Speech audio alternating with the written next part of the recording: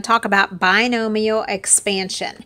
And what does that mean? It means if I have a binomial like x plus 4, I am raising it to the fourth power. I have different ways I can expand that and I, different ways I can multiply that.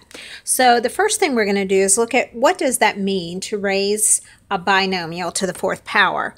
Well, it means I have four of these terms. So I have an x plus 4 times another x plus 4 times another x plus 4 times a fourth x plus 4. And I have to multiply all of those together. So what I can do is that I can do what we call FOIL, which is multiply the first two together and get an answer.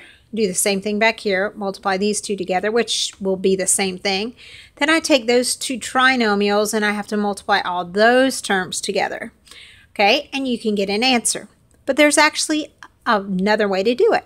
And we're going to use Pascal's triangle to expand this. Okay, so what is Pascal's triangles? Pascal's triangle are the coefficients when you raise binomials to different powers. So if I have a binomial, we'll just call that a plus b. And we're raising it to the zero power. Anything to the zero power is 1. Well, if I have a plus b and I'm raising it to the first power, that's just going to be a plus b. So the lead coefficients are going to be 1 and 1 because it would just be a plus b. Now, if I raise it to the second power, I have an a plus b squared. I would take a plus b times a plus b, and I would FOIL it, right? And I would get a times a is a squared, a times b is ab, b times a is ab, b times b is b squared. So I would get a squared plus AB plus AB is 2AB plus B squared. So what are my coefficients? 1, 2, and 1. So that's what is on this layer of Pascal's triangle. Now what you can see is these are generated actually from adding the two the layer before. So what we're going to do, I'm going to try to squeeze in a 1 right here to draw the next layer, write the next layer. I would add these two coefficients and if I cube a binomial, my lead coefficients are going to be 1, 3, 3, 1. If I raise it to the fourth power, a plus b to the fourth, my lead coefficients are going to be 1, 4, 6, 4, and 1. So you can see each layer I'm adding, I'm adding the coefficients in the triangle.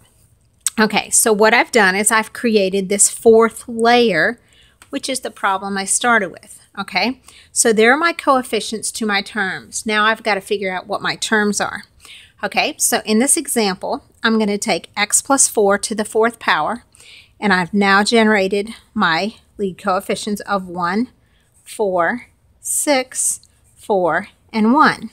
Now what I'm going to do is I'm going to take the first term and I'm going to raise it to the fourth power. And then the first term is going to descend. Now I'm going to raise it to the third power. And the third term, it's going to be raised to the second power. And the fourth term is going to be raised to the fifth, first power. And the last term, I raise it to the zero. So you can see the first term has a descending exponents. Now, for the second term, I'm going to take my second term and I'm going to ascend my exponents. So I'm going to go down here. I'm going to have 4 to the 0. 4 to the first, 4 to the second, 4 to the third, and 4 to the fourth. So I've taken this x plus 4 and I'm now expanding it, and I've got my five terms. Okay, so now let's simplify all these.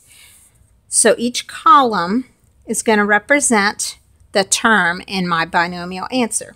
So the first term is going to be 1 times x to the fourth times 4 to the 0. We know 4 to the 0 is just 1. This is going to be x to the fourth. The second term, they're all positive. I'm doing a positive one first just to show you. I'm going to have 4 times 4 times x cubed, so that's 16x cubed. The next term, my coefficient is going to be 4 squared, which is 16. And then 16 times 6, let's see, 16 times 6 is 96, so the coefficient is 96x squared.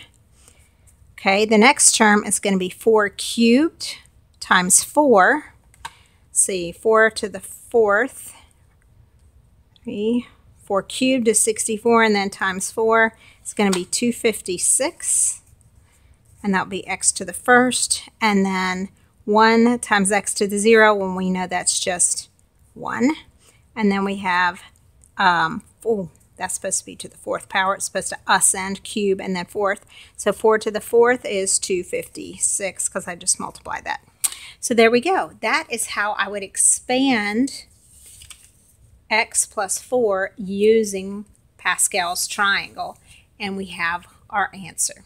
So there's my first example. And you can look for another video. I'm going to do one that has a negative or subtraction in my binomial and it changes your answer slightly.